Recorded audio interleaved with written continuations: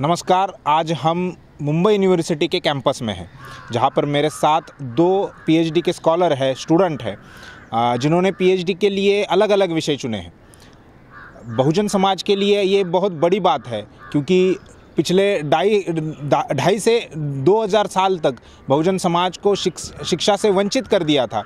उन्हें किसी प्रकार की कोई शिक्षा नहीं दी गई थी। लेकिन आज उसी तबके के, उसी वर्ग के लोग पीएचडी तक की पढ़ाई कर रहे हैं। और हमारे साथ यही दो विद्यार्थी हैं दीपक घोड़ेसवार और विकास शिंदे। ये दो स्टूडेंट हैं जिन्होंने पीएचडी के लिए अलग अलग विषय लिए हैं।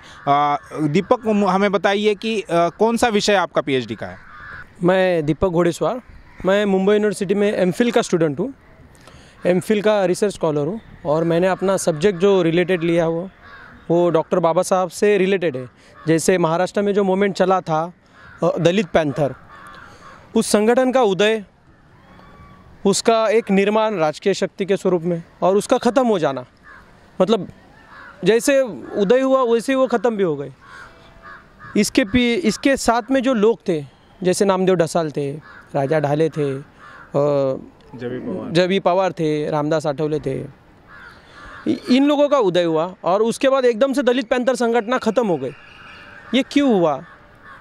क्या वो संगठना की क्या दिशा थी? या उन लोग या उन लोग के क्या ऑब्जेक्टिव क्या थे? इसके बारे में मैं रिसर्च कर रहा हूँ। उसके फेलियर के बारे में भी आप रिसर्च कर रहे हैं। ज़रूर ज़रूर। उसके फेलियर के बारे में भी रिसर्च कर रहा हूँ क्योंकि संगठन नाकाम नहीं कह सकते लेकिन जितना जल्दी से ऊपर आया, उतना जल्दी से नीचे भी बैठ गया। और लोगों पे जो अत्याचार होते थे, जो गाँव गाँव में जो, खेड़े गाँव में जो लोगों पे अत्याचार होते थे, उसके स्वरूप में संगठन का उदय हुआ था। शहर में, सिटी में, जहाँ जहाँ लोगों के ऊपर, एससी के लोगों के ऊपर अत्याचार होते थे, ये लोग उठ खड़े होते थे। कुछ समय में तो महाराष्ट्र में इन लोग का इतना बड़ा नाम हुआ था, सत्तर के दशक में, सत्तर अस्सी के दशक में। कि राजकीय स्वरूप में लोग इसे देख, देखते थे और उसमें से नेतृत्व भी आगे आएगा ऐसा सोचा जा रहा था। लेकिन अचानक में ऐसा हो गया कि लोग किसी ने उसको, जैसे सोच समझ के उसको नेस्त नाबूद कर दिया गया हो, जो एक, जो तरुण नेतृत्व, जो नौजवान आगे आए थे, वो एकदम से शांत हो गए। तो वो क्यों शांत क्यों हो गए? या उनका जो राजकीय जो स्वरूप था या जो उन- जो, जो उन्होंने शुरुआत की थी या उनका ख़त्म हो जाना ये इसके ऊपर मैं सब रिसर्च कर रहा हूँ। अब क्यों लग रहा है आपको कि ये विषय सामने आना चाहिए? इसके बारे में जानकारी जो है वो लोगों को मिलनी चाहिए। ऐसा क्यों लग रहा है? ऐसा इसलिए लग रहा है क्योंकि लोगों को इतिहास मालूम होना ज़रूरी है। अगर लोग अपना इतिहास नहीं जानेंगे तो वो इतिहास नहीं बना सकते। ये बाबा साहब का स्टेटमेंट है। तो आने वाले समय में लोग काफ़ी आंदोलन चला रहे हैं। बड़े बड़े आंदोलन चला रहे बड़े बड़े संगठन चल संगठन चला रहे कई नाम जो आगे आ रहे जिग्नेश मेवानी आ रहे चंद्रशेखर रावण आ रहे ऐसे काफ़ी नाम है। तो लोग उनके पीछे जाते हैं। ऐसे ही कुछ लोग महाराष्ट्र में भी निर्माण हुए थे उस समय में सत्तर अस्सी के दशक में। लोग उनके पीछे भी गए थे लेकिन हुआ कुछ नहीं। राजकीय शक्ति का निर्माण नहीं हुआ खाली नाम हुआ। तो क्यों हुआ? उनके फेलियर के पीछे क्या कारण थे? क्या उन लोग के पास कोई प्रैक्टिकली कोई एजेंडा था या प्लानिंग थी? ये सब मैं तलाश रहा हूँ, या अपने रिसर्च में ढूंढ रहा हूँ, ताकि आने वाले समय में जो अंबेडकर आंदोलन चला रहे, जो मोमेंट चला रहे, वो अपने फेलियर का ध्यान में रख के ये गलतियाँ हमें नहीं करनी है। ये गलती हो चुकी है इस वजह से हम लोग फूट चुके हैं हमारा संगठन नेस्त नाबूद हो चुका है। तो हमें आगे चल के और बड़े पैमाने पे मज़बूत ढांचा संगठनात्मक ढांचा बनाना पड़ेगा। तो वो अभ्यास करना भी ज़रूरी है। तो वो सब ध्यान में रख के मैंने ये रिसर्च लिया हुआ है पॉइंट। आ, विकास हमें बताइए आपके आ, रिसर्च का विषय क्या है? अ, मेरे रिसर्च का नाम है डॉक्टर बाबा साहब अंबेडकर की राजकीय मूवमेंट। अच्छा।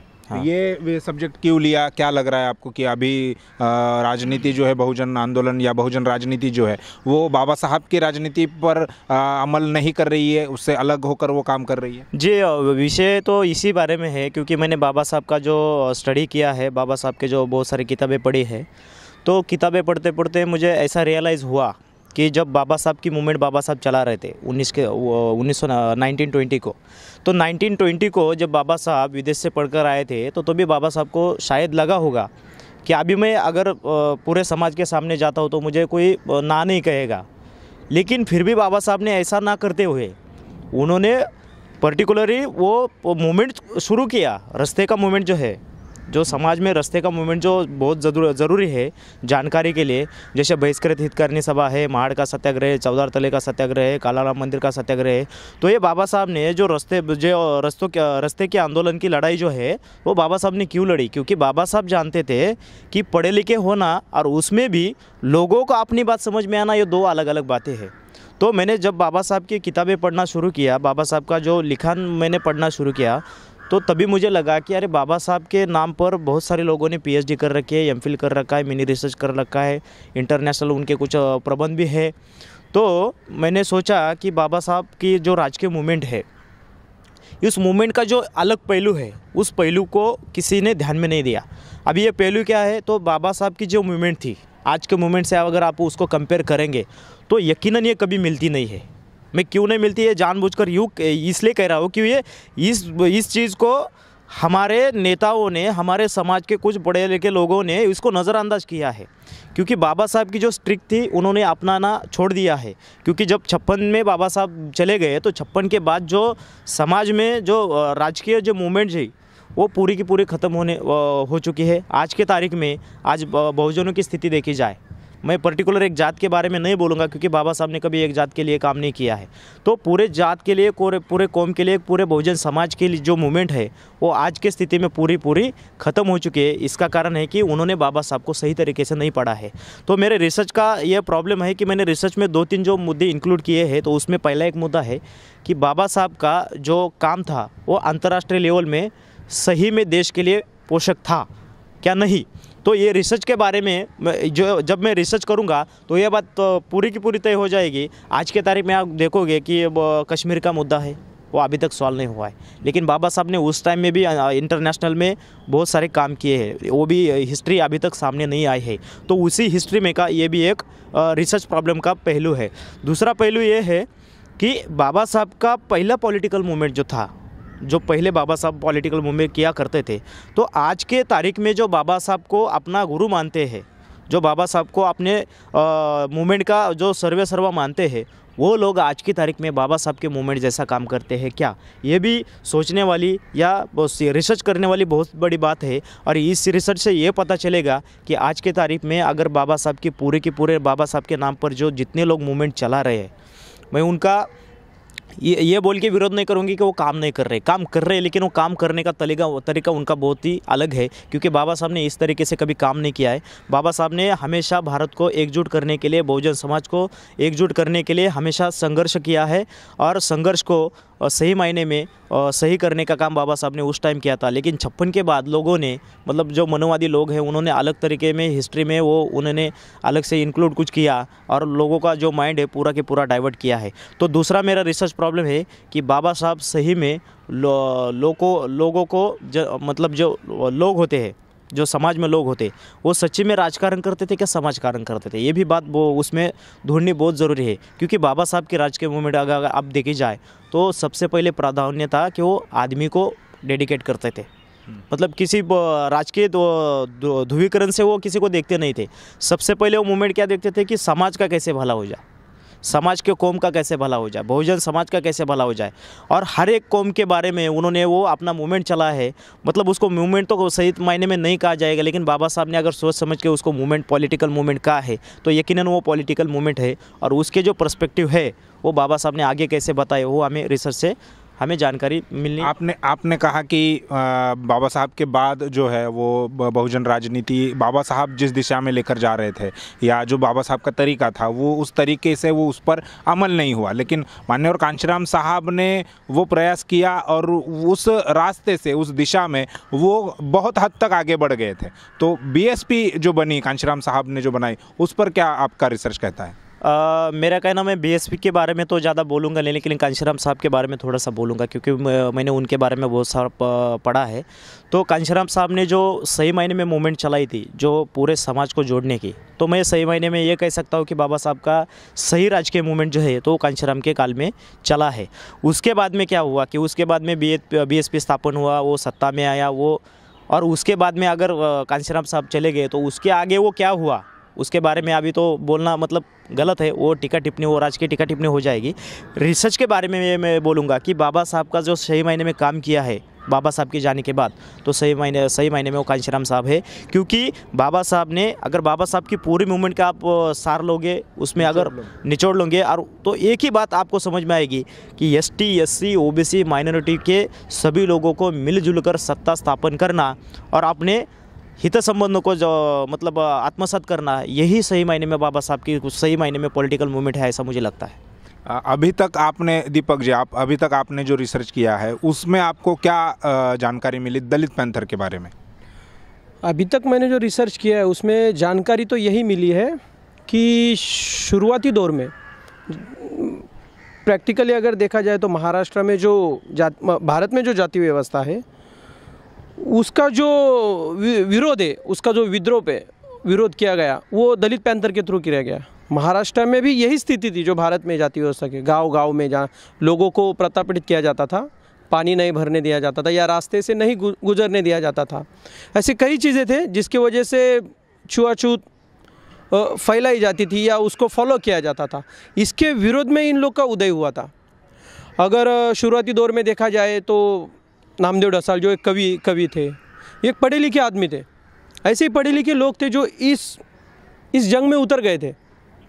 तो वो लोगों को जो जाति व्यवस्था के कारण जो दर्द होता था या जो उनको जो प्रताड़ित किया जाता था, उसके विरोध में इन लोगों ने अपना संगठन ओपन किया था। और उसका विरोध करने के लिए एक बड़े पैमाने पे इन लोगों ने अपना संगठनात्मक ढांचा निर्माण करने का प्रयास किया था। उसका नाम उन्होंने दलित पैंथर रखा था।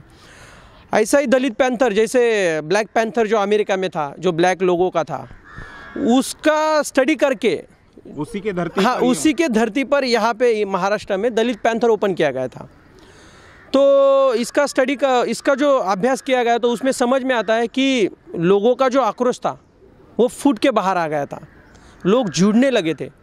लोग उनको समर्थन देने लग गए थे और ये एक राजकीय शक्ति के स्वरूप में उदय पा रहे थे।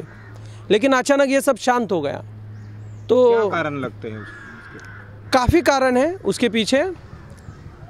हाँ, एक एक कारण ये भी हो सकता है जो सुनने में आता है कि उनका आपसी वैमनस्य जो है एक दूसरे के ऊपर विश्वास ना रहना ये भी अंदरूनी कारण था कि जिसकी वजह से दलित पैंतर में टूट फूट हो गई। ज़रूर ज़रूर ये ये अभ्यास में जान पड़ता है। उन लोगों में आपस में विश्वास नहीं था या कोऑर्डिनेशन नहीं था। मतलब कौन नेतृत्व करेगा? अच्छा नेतृत्व कौन करेगा इसको लेकर? हाँ नेतृत्व कौन करेगा या कोऑर्डिनेशन नहीं था। आपसी समझ भी थी या प्लानिंग नहीं थी किस दिशा में जाना है क्या करना है कैसे आंदोलन चलाना है किन चीज़ों को ध्यान में रखना है ये ये कोऑर्डिनेशन नहीं था उन लोगों में। तो इसका मैं रिसर्च कर रहा हूँ अभी भी काफ़ी बड़े पैमाने पे। तो आने वाले समय में मैं वो ज़रूर बताऊँगा आपको या अपनी जो अभी अभी तक कि, अभी कितने साल बचे हैं आपको ये सारा रिसर्च वर्क कंप्लीट करने के लिए? कम से कम एक साल जाएगा और। अभी एक साल जाएगा और इसमें रिसर्च में कम से कम समय। उसके बाद थीसेस वगैरह रेडी हो जाएगा, फिर सबमिट कर दूँगा। और ज़रूर मैं बताना चाहूँगा आपको, जो स्टडी चल रहा हो, कर रहा हो इसके बारे में, आपको ज़रूर बताऊँगा मैं। ओके। और विकास जी, आप बताइए कि आपके रिसर्च में और कौन से पहलू जो है, वो आपको टटोलने बाकी है? या आपको ऐसा लगता है कि जो पहले आपके रिसर्च में नहीं था, पहले वो उसमें नहीं था, लेकिन कुछ स्टडी करने के बाद आपको ऐसा लगा कि हाँ ये भी पहलू हो सकता है इस स्टडी का या इस रिसर्च का? ऐसे ऐसे कुछ वाक्य बताइए। देखिए रिसर्च करने के बारे में आप अगर देखोगे तो रिसर्च किसी एक सब्जेक्ट अगर एक रहता है, लेकिन उसमें जो टॉपिक रहते हैं तो अलग अलग टॉपिक टॉपिक जो रहते हैं, उस पर आपको रिसर्च करना पड़ता है, जो पाँच पर्टिकुलर टॉपिक होते हैं। तो उस पाँच पर्टिकुलर टॉपिक में जो बाबा साहब की पहली मूवमेंट है, पहले उसको मूवमेंट को पढ़ा जाएगा। बाद में बाबा साहब ने कितने संगठन खड़े किए, उस संगठन को पढ़ा जाएगा। बाद में बाबा साहब ने जो समाज के लिए, जो रस्ते की आज़ादी के लिए लड़ाई लड़ी फिर उसको टटोला जाएगा। फिर बाबा साहब ने जो पत्रकार निकाले, जो न्यूज़पेपर निकाले तो ये भी एक रिसर्च का बहुत बड़ा बाबा साहब का भाग है। आज की तारीख में अगर आप देखोगे कि टीवी मीडिया वाले जो है, जो पर्टिकुलर एक ही पार्टी का नाम लेकर उसको लाल करने में लगे रहते, लेकिन ऐसा बाबा साहब कभी करते नहीं थे कि बाबा साहब ने उस न्यूज़पेपर को, उस मीडिया को एक मीडिया का दर्जा देकर उस न्यूज़पेपर को एक सच्चा दर्जा देकर लोगों को सही पैमा पैमा- पैमाने में पर इन्फॉर्मेशन जानकारी देने का। पूरा के पूरा प्रयास बाबा साहब ने उस टाइम में किया। तो उसको भी देखना बहुत ज़रूरी है। और तीसरा जो पांचवा जो पार्ट है उसमें जो तीसरे पार्ट में जो पांचवा पार्ट है उसमें भी है कि बाबा साहब ने भारतीय राज्य घटना में जो हमें मौलिक अधिकार दिए मौलिक अधिकारों को भी ध्यान देना बहुत ज़रूरी है आज की तारीख में। क्योंकि बाबा साहब ने जो article eleven to twenty nine तक जो मौलिक अधिकार हमको दिए हैं मतलब उसमें तो बाबा साहब ने मौलिक अधिकार क्यों दिए और कैसे दिए? उसको भी टटोलना बहुत ज़रूरी है। और मैंने उसका जो कंपेरिजम जो किया है तो मनुस्मृति के साथ किया है। कि देखो, पहले अभी बाबा साहब ने हमें मौलिक अधिकार दिए। पहले हमें बात करने की आज़ादी नहीं थी। क्यों बाबा साहब ने मौलिक अधिकारों में ये बात करने की आज़ादी हमें दी? ना आर्टिकल 19 में आप देखोगे कि आपको भाषण करने का, सभा करने का, सम्मेलन करने का जो अधिकार है, उस टाइम में ब्राह्मण लोगों ने ये अधिकार हमारे पास नहीं रखा था। बहुत हज़ारों साल पहले ये अधिकार हमसे छीन लिया गया था। लेकिन बाबा साहब ने, बाबा साहब अगर चाहते तो अलग कलम में इसको डाल डाल सकते थे। लेकिन बाबा साहब ने इसको मौलिक अधिकारों में क्यों डाला? क्योंकि ये लोगों को समझना बहुत ज़रूरी है। लोग भाषण करते हैं तो भाषण में मनुस्मृति को अलग समझाते हैं। लेकिन आपको मनुस्मृति को अलग समझाने की सही मायने में ज़रूरत नहीं है, क्योंकि आप मनुस्मृति को, मौलिक अधिकारों को उनका जोड़कर। अगर आप स्टडी करोगे तो सही मायने में आपको पता चलेगा कि जो बहुजनों पर अन्याय हो रहा था जो बहुजनों को हक अधिकार छीन लिए जाते थे तो उसमें बाबा साहब ने सही मायने में उनको कैसे आज़ादी दी? तो ये भी जो पार्ट है जो मैं बोल रहा हूँ अभी जो पार्ट है ये भी बहुत सारे रिसर्चों में मुझे कहीं पर नहीं दिखाई दिया कि अलग यूनिवर्सिटी में शायद उसमें रिसर्च हुआ होगा लेकिन मैंने अभी तक तो उसको टटोला नहीं है। अभी मैं पहले दो चार यूनिवर्सिटी का डाटा टटोलने वाला हूँ उसमें किसने किस पर और ज़्यादा काम किया है वो देखने वाला हूँ और वो देखने के बाद फिर मेरा अलग क्या पर्सपेक्टिव निकलता है तो उस पर उस पर जाकर अभी ज़्यादा स्टडी करना ज़रूरी है। कितने साल लगेंगे और आपका ये पूरा कम होने के लिए? देखो मैंने जो सब्जेक्ट लिया है वो सब्जेक्ट कोई साधारण सब्जेक्ट नहीं है मेरे मेरे कहने के मुताबिक। क्योंकि कुछ लोग ऐसे होते हैं कि जो दिन दिन रात स्टडी करते हैं दिन रात ये करते हैं तो स्टडी तो हम भी करते हैं दिन रात भी करते हैं उसमें कोई दौरा नहीं है। लेकिन सही मायने में बाबा साहब को पढ़ना ये क्या दो साल का तो ये बात नहीं है। फिर भी हमें कम से कम डेढ़ साल तो लग जाएगा सिनॉप्सिस पूरा तैयार करने में। सिनॉप्सिस तो ऑलरेडी मेरा हो चुका है अभी थीसेस जो सबमिट हमें करना है तो शायद हमें डेढ़ साल तो लग ही जाएगा। लेकिन डेढ़ साल के बाद अभी यूनिवर्सिटी का भी बहुत सारे कार्यक्रम बीच में ही निकलते हैं कि रिज़ल्ट लेट लगना ये होना वो होना। इसकी वजह से हमारा भी लेट एडमिशन हुआ। तो ये बहुत बहुत सारी बातें हैं जो इसको अभी आगे जाकर क्या होता है वो आगे देखना पड़ेगा। धन्यवाद एम एन से बात करने के लिए दीपक और विकास। आ, बाबा साहब का चालीस साल का संघर्ष है उसमें बाबा साहब के अलग अलग पहलू हैं। इन दो इन इनमें इन से दो पहलुओं पर रिसर्च हो रहा है। और भी भारत में जो यूनिवर्सिटी है, वहाँ पर भी बाबा साहब के अलग अलग पहलुओं पर अलग अलग रिसर्च हो रहा है। तो ये बहुत बड़ी बात है बहुजन समाज के लिए कि दलित पैंथर का उदय कैसे हुआ था, वो उसका अस्त कैसे हो गया, वो नष्ट कैसे हो गया, किसने किया, क्यों हुआ? तो ये सारी बातें भी हमें जानने, समझने की है। बाबा साहब, एक राजनेता के तौर पर किस प्रकार से काम करते हैं? एक राजनेता के तौर पर वो चीज़ों को किस प्रकार से देखते हैं, लोगों को कैसे समझाते हैं? ये भी ये इस रिसर्च का एक हिस्सा है उनके।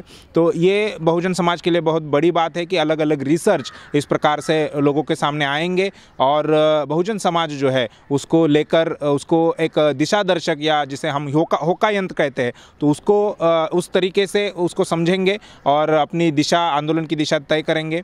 अ, ये इन दोनों का फिर से मैं धन्यवाद ज्ञापन करता हूँ और इन दोनों को एमएनटीवी की तरफ़ से उनकी जो आगे का जो रिसर्च है उसके लिए भी हम शुभकामनाएँ देते हैं। और हमारी तरफ़ से अगर कोई अ, मदद उनको होगी तो हम वो अ, करने के लिए भी तैयार है। तो यही था आज का वीडियो। आप देखते रहे एम धन्यवाद। समाज की महत्वपूर्ण घटनाओं की जानकारी के लिए एम एन को सब्सक्राइब करें और साथ ही साथ बेल आइकन को दबाएँ ताकि आपको हर महत्वपूर्ण जानकारी मिलती रहे।